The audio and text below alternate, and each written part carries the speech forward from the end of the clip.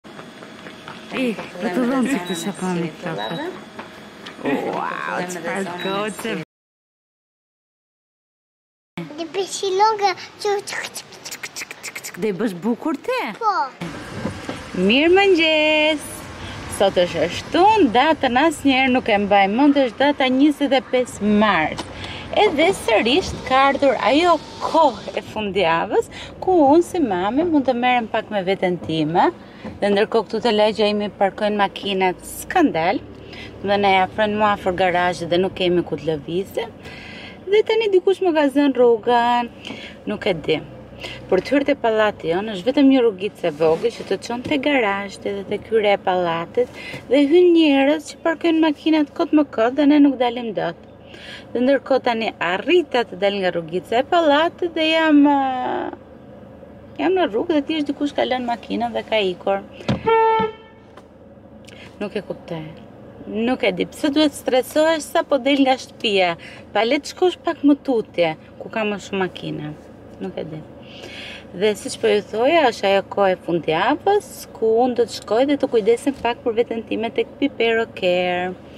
Sigurisht nëse arrij dot se kështu si m'i kanë lënë këto makinat sot, nuk e di a do arrij. Por gjithsesi jam pak vonë. Kur shkoj te Pipero do ju tregoj, unë besoj e keni parë edhe në vlogjet e kaluara, unë bëj uh, këmbët dhe sqetullat dhe sot kam seancën e katërt në mos gaboj, më në fund erdhi dhe do na lirohet rruga. Sot kam, sot kam seancën e katërt të këmbëve dhe të sqetullave dhe rezultati ka qënë fantastik. Mund t'jua tregoj edhe atje, por në këtë fazë domethënë nuk kam më qime pothuajse fare tek tuk disa që normalisht zgjaten sepse ë cikli është një herë në dy muaj për të bërë epilimin me lazer. Jam super e lumtur sepse do të vijë vera dhe unë do të jem qime free. Nuk e di nëse ka një fjalë që mund ta mund ta përshkruaj më mirë.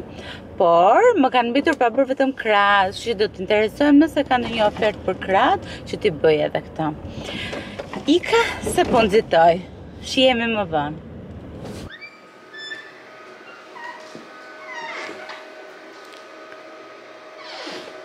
Tani unë besoj e keni parë shumë herë dhomën ku bëj epilimin me lazer këtu te Pipero, por po jua tregoj dhe një herë, se nëse s'keni parë vlogun e kaluar, kjo është dhe lazeri, dhoma ka ca ngjyra shumë, shumë relaksuese, kështu që për mua është një eksperiencë e bukur.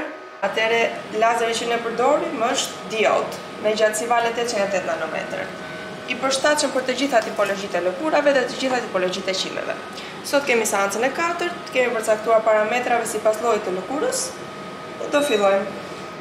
Si fillim aplikojmë xhelin. E përhapim në të gjithë këmbën. Duken dhe pikat e mushkonjave që na pickuan, na masakruan. Do fillojmë, është startuar. Vendosim syzet. Okej. Okay. Okej. Okay. Gati? Pa. Okej. Okay. Këtu te këmba as nuk ndihet fare.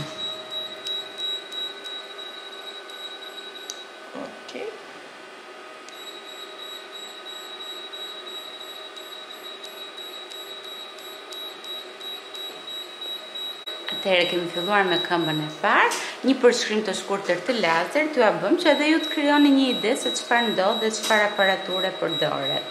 Sikurse ju kam thënë në të gjitha videot, ndjehet vetëm një pickim shumë i lehtë, po krahasuar me freskinë që të vjen nga xheli dhe ftohësi i lazerit, nuk ndjehet fare. Atëherë, duke qenë se lazeri është i përshtatshëm për të gjitha tipologjitë e lëkurave, përshtatet edhe në verë.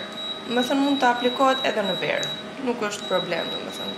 Mjafton që të zbatohen disa rregulla të vogla që të mos kemi ekspozim 2-3 ditë para dhe 2-3 ditë pas ekspozimit. Aplikimit të lazerit, po. Edhe unë në fakt në verë e kam filluar, ka qenë gusht, më duket, ose po. shtator. Në qoftë se zbatohen këto dy rregulla të thjeshta, mund të aplikohet, nuk mm. është problem. Dhe diçka shumë e rëndësishme që unë doja të kujtoja është që nëse planifikoni të bëni epilimin me lazer, mirë është që të vini dhe të bëni një konsult këtu te Big Bear Care, që të merrni një mendim më, më të përshtatshëm për lëkurën tuaj, për tipologjinë e lëkurës suaj.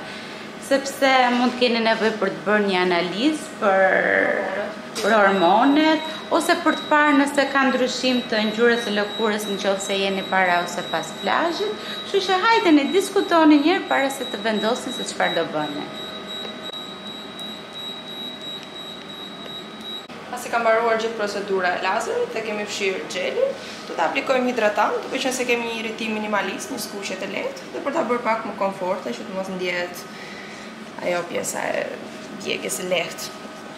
Po. Lë një aromë e mirë gjithashtu. Po. Na kënaq tani. Tani po fillojmë edhe zonën e sjetullave. Një këshillë e vogël që ta keni parasysh në rast se do të bëni sjetullat, mirë është që pas seancës edhe për zonat e tjera faktikisht, para seancës së lazerit mirë është mos të hedhin deodorant dhe pas gjithashtu që të mos kemi djegje apo irritim të zonës ku sapo është bërë lazeri.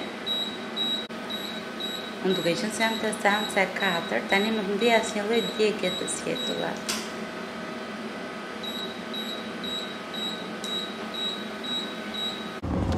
Tada! Kjo është buzëqeshja e një mami që ka shpenzuar vetëm 30 minuta kohë te Pipero Care dhe kam mbaruar punë për 2 muaj.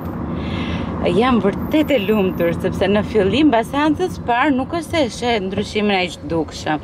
Ndërsa mbas seancës 4, më duhet ta pranoj që rezultati ishte shumë shumë i dukshëm. Imagjino tani, që unë do jem këto dy muaj që fillon pranvera dhe do shpërthejnë fustanet dhe unë do jem kaq e qetë sepse nuk kam për t'u marrë për t'u shqetësuar fare për qimet sot m'u desh shumë pak kohë sepse kisha për të bërë vetëm uh, këmbët edhe sqetull dhe do vij një ditë tjetër për për bikinin por që Nuk e di, nuk kam fjalë. Jam shumë shumë e lumtur dhe shumë shumë e qetë. Ishte diçka që duhet ta kisha bërë prej kohësh dhe kam neglizhuar shumë kot. Thjesht me ato frikëra dhe fobitë që kemi neve të pabazuara, sepse tani shumë shumë, shumë thjesht mund të marrësh informacion në internet dhe të shikosh se çfarë është e sigurt dhe çfarë jo. Kështu që tani po ikin në shtëpi te Doen dhe sot me Doen Ne kemi për të prerë flokët për herë të parë, kështu që kemi lënë një orar në orën 2 e gjysmë dhe ikim te lagja, sepse nuk duam të rrezikojmë të marrim rrugët dhe Doen mos na qëndrojë fare, por deri tani duket shumë e lumtur dhe shumë entuziaste që të presë flokët. Shikojmë si do shkojë, do ia tregojmë edhe juve. Shihemi në shtëpi. Ciao. Doen. Mm.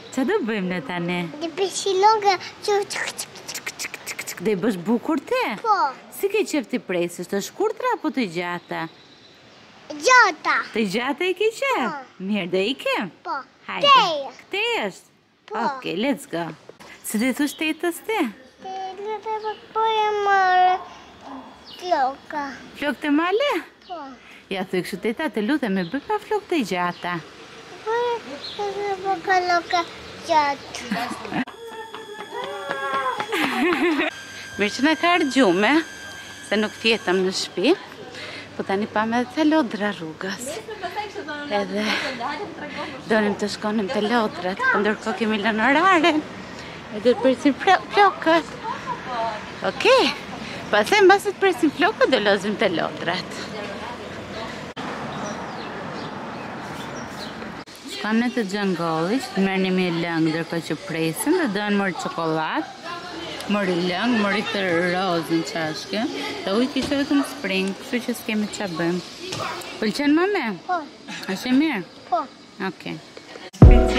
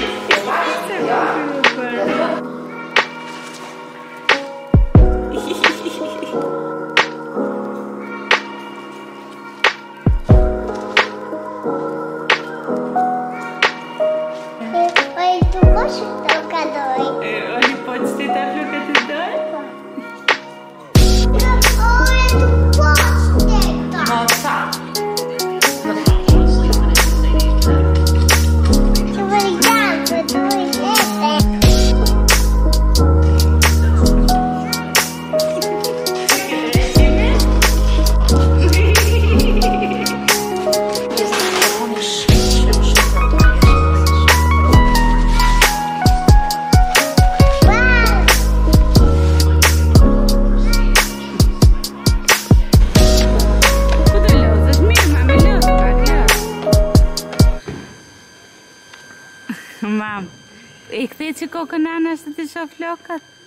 Që vi që kanë dhe? Oa, mami dukesh yll.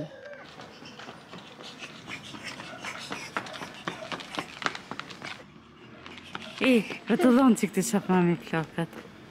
Wow, që farë gotë e bukur!